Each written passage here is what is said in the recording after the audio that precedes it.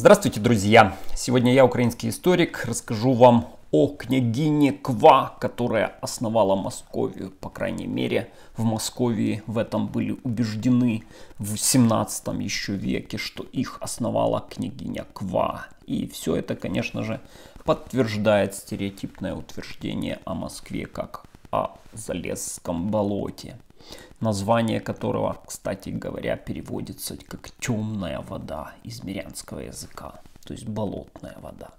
Таким образом, Москва, Россия, болотная вода, княгиня Ква. Что это такое?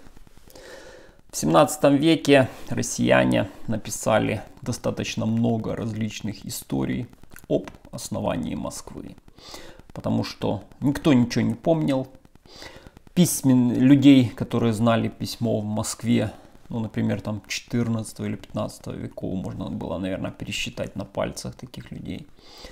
Соответственно, никто ничегошеньки не знал и не помнил. Тем более, посмотрите на современную Россию, они вообще не знают своей собственной истории. Та же история была и в 17 веке. И вот начались различные попытки обосновать, так сказать, появление Москвы царствующего града Москвы. Даже такие были произведения в то время. И вот в частности в 17 веке появилось предание об основании Москвы, представьте себе, Масохом Яфетовичем. Ой, представьте себе, внуком Ноя и сыном Яфета Мосохом, от которого вроде бы этот город и получил свое название. Текст этот читать достаточно смешно. Он есть в открытом доступе, он есть в книжечках. Например, такая книжечка «Предание русской изначальной летописи». Но вообще на летопись это мало похоже. Таким образом, повесть о Мосохе, кто хочет, может почитать. И согласно этой повести, Мосох, шестой сын Яфета, внук Ноя, того самого, который в ковчеге, плыл из Вавилона с племенем своим, сделал остановку на реке названной по его имени Москвой. То есть представьте себе, какую чушь собачью писали. Значит, он э, плыл из Вавилона, да, и при этом со своим племенем и доплыл до реки Москвы. И, соответственно, потомками этих московитов была разрушена Троя, основана Венеция. Они стали первыми насельниками Римской области, этрусками. И, соответственно, потом пленили Филиппа, отца Александра Македонского, завоевали Рим и стали его владыками еще до того, как на Рим пришли готы. И един московский народ населил почти всю Европу. Это аще разные имяны, но все един московский народ. Истинный же столб языка славянского московской земли. Короче, вот такую вот чушь задвигали в то время от величия. То есть величие переполнило мозги, ударило в голову это величие московитам вместе с еще с чем-то. И они вот такое все сочиняли. Но дальше пошел с княгиней Ква, такой себе Тимофей Каменевич, Рвовский. Как пишет в российской Википедии русский писатель. Э, и еродиакон Хлоп, Холопьего монастыря, представьте себе, 1684-1699 года. То есть в Европе уже лейбницы, уже что там угодно, куча всяких ньютонов и так далее, а у них Тимофей Каменевич Рвовский, и вы сейчас услышите, что он рассказывал. Это, конечно, можно просто выпасть. Э, это меря ну, то есть в землемере он, это вся, весь этот бред вокруг московский, он из землемерия, как, собственно говоря, и сама Москва. А, то есть у него этот на Малоге, на Рыбинском водохранилище, это его вся история. И таким образом, что он написал о древностях российского государства? Рукопись его даже читал Карамзин и тоже что-то там выписывал. Уже пользовался Карамзин вот этой всей чушью. Потом история греко-славянская написал вот этот, представьте себе, человек. История о начале славяно-российского народа, 1699 год. И летопись о зачале Москвы. И, э, как водится, все документы в московской истории так заведено, что все документы, на основании которых писали эти все летописи, потом сгорали. Ну, то есть их, скорее всего, не было. А, а если были, ну, где выписать и вычитать такую чушь, это нужно было, конечно, постараться. И, как пишет вот Википедия, что касается умозаключений, то они в большинстве слабы, хотя сам он был именно об этой стороне своих работ очень высокого мнения, полагая, что он осветил и даже разрешил многие запутанные вопросы. Сейчас вы послушайте, как он разрешил эти вопросы, можно, конечно, э, упасть. Приблизительно так же, как современные российские историки решают эти вопросы. Ржака. Таким образом, как его работа называется, это тоже стоит процитировать. «Историчествующее и древнее описание и сказание всем вам есть во указание о начале родов московского рода и славяно-российского превеликого народа и о переименовании их и о зачале превеликих городов их царствующего и превеликого пред во предбытного предвопредбытного града Москвы и государствующего второпредбытного же Великого Новгорода. То есть он даже Новгород поставил после Москвы, вопреки всем, всем э, так сказать, хронологиям. И вот что он написал. И это все еще, подчеркиваю, изучалось Карамзиным там во времена этого всего. И вот что он написал. «Ною же праведному внука суща бывша именем Месеха или же резче Масоха. Сей же уба Масох, ну то есть упоминается в Библии, Егда отдоися із в совозрасті бысть муж крепкорукий и вытяганец лукосильный, вытяганец лукосильный. Э, патриарх, бо он быв первый той и отец наш, князь великий, князь великий Мосох Яфетович и господарь всем нам. Это Москвы. Ну, короче, а... то есть Масох Яфетович, представьтесь. Ну и дальше он писал. «Приде же Мосох Яфетович, Господарь наш и князь первый, в страну скифскую великую и землю нашу сию, так предименуемую, на места селения сего московского, на ней же земле мы ныне жительствуем. Сию же реку тогда сущую, безимениту бывшую, от и сперва. Он Мосох князь, по пришествии своем и переселении прекрасном и излюбленном переименовал Ю Масох князь по имени своему, самого себя и жены своей я княгини прекрасные и предлюбезные, нарицаемые Квы. То есть Ква, ее звали Ква. Наверное, она была зеленая. И тако по сложению общекупному имен их князя нашего Мосха и княгини его Квы красные преднаречеся, сей же Мосох, князь московский бысть, и началородный нам и первый отец не только, не только может скифо Москво славяно-российским людям, скифо Москво славяно-российским людям, но и всем нашим своеродным государствам премногим. Также Тимофей утверждал, вот этот Тимофей, что река Яуза была названа Масохом по именам его сына Я и дочери Вузы. Таким образом, вся эта история попадает в различные записочки московицкие и негативно влияет на самого Пушкина. И он пишет свое произведение о лягу, царевне лягушке. Ква, ква, княгиня Ква.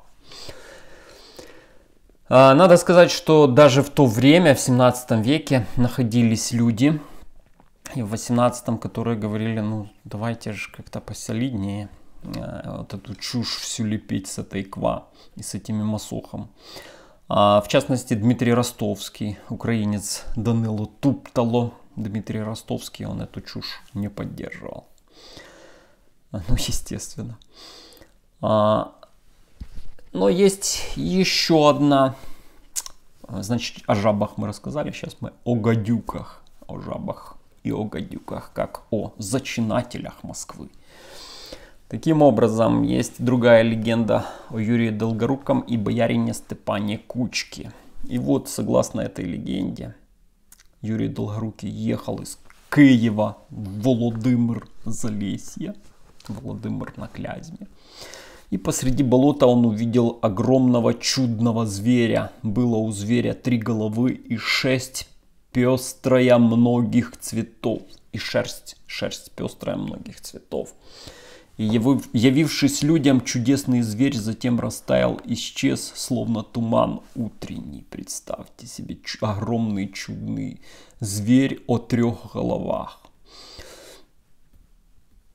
И спросил князь Юрий Долгорукий, что же это значит? И какой-то грек ему сказал в этом видении, что встанет град превелик треуголен, а пестрота шкуры значит, что сойдутся сюда люди разных племен и народов. Ну и дальше э, всем известная история, кроме этой, этого то ли змея трехглавого, да, то ли еще какого-то. А, а, история называется «О зачатии э, царствующего града Москвы». Написана анонимно в 17 веке. А, и там вся эта история о начале города Москвы, э, короче, о том, что основатель Москвы, он там называется э, не Андреем Боголюбским, не в те времена, а немножко попозже, Данила Александрович. И, мол, он взял Кучковичи, а Кучковичи это были немножко раньше, на сто лет, мягко говоря. Ну, то есть смешались в кучу кони-люди. И что-то он, э, короче, к ним какую-то гомосексуальную связь, значит, имел. И они, эти Кучковичи, взяли его, убили, соответственно, э, и с его женой замутили улитой. И его, соответственно, убили. То есть какая-то макруха была в основании Москвы. Э, она подтверждена немножко летописью, потому что есть летописное э, описание убиения князя Андрея Боголюбского. А там в Залесье, там действительно имена этих Кучковичев, Кучковичей дают. Ну, короче, это более-менее какой-то еще намек на что-то реальное. Но про этих змеев и про этих, соответственно, княгиню Евонную Ква, это что-то с чем-то. Ну а э, Кучковичи э, действительно есть летописное э, сообщение, достаточно такое развернутое. Более того, нашли ну, череп, скелет Андрея Боголюбского. Действительно, у него эти поражения, действительно, у него там рука отрублена была. Ну, короче, так более-менее летописное сообщение подтверждается. В отличие от Потому что летописи писали еще в те времена домосковские, еще какая-то традиция сохранялась э, более-менее правдивая. Потом все пошло наперекосяк. И теперь же самое интересное. Кто такой этот Масох? А, Масох это в Библии упоминается. И Масох, Рош и Тувал – и московиты начинали это все лепить, что Машох это, мол, Москва, Тувал это Тобольск, представьте себе, такое даже было. Ну, короче, э, имя этого Масоха, ну и народа, возникает в псалмах Давидовых, где Давид сетует. Горе мне, мне, что я пребываю у Масоха, живу у шатров кидарских, долго жила душа моя с ненавидящими мир, я мирен, но только заговорю, они э, готовятся к войне. То есть это Машох это какой-то воинственный народ. И московитам так это понравилось, что они начали везде лепить этого Масоха, только бы стать такими воинственными и так далее. Но они, дело в том, что они, наверное, не дочитали Библию и не знали, как он закончит этот Масох в соответствии с Библией. Потом мы э, в книге Иезекииля в Библии находим подробное описание. Вот как там написано. В тот день, когда народ мой Израиль будет жить безопасно, э, ты, Масох, пойдешь с места твоего от пределов севера, ты и многие народы с тобой, сборище великое войско многочисленное, и подним, поднимешься на народ мой, на Израиля, как туча, и я приведу тебя на землю мою, но тут-то и ждет их уготованная Богом смерть. Призову меч против него, то есть против Машоха, и пролью на полки его и многие народы, которые с ним, всепотопляющий дождь и каменный град, огонь и серу. Поражение будет столь страшным, что хоронить убитых а, будут 7 месяцев, а, жечь, а жечь их оружие целых 7 лет. А, причем этот масох ждет а, поголовная гибель. А, вот. И а, путь этому масоху лежит прямо в преисподнюю. Там Мешех и Фувал со, совсем множеством своим, вокруг него гробы их все необрезанные, пораженные мечом, которые с воинским оружием своим сошли в преисподнюю, и мечи свои положили себе под головы, и осталось беззаконие их на костях их, потому что они как сильные были ужасом в земле живых. Э, и в Откровении Иоанна Богослова тоже о Гоге и Магоге, ну, то есть в этом же. И значит, что они будут, не спал огонь с неба, и пожрал их. Эти э, Гуга и Магога. Ну, короче, вот это все. То есть московиты настолько хотели себя к чему-то прицепить древнему, что готовы были и к древнему, и ужасному, и страшному, что готовы были, были себя записать к этому, ну, соответственно, в потомки этому Масоху.